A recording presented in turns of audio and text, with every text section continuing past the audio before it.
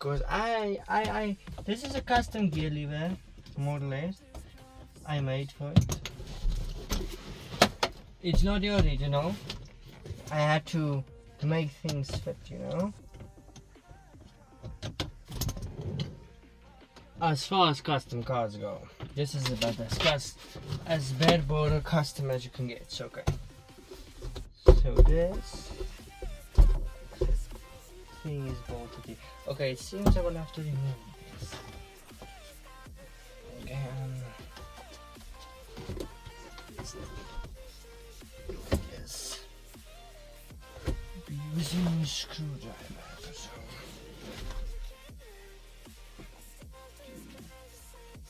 Just do it carefully.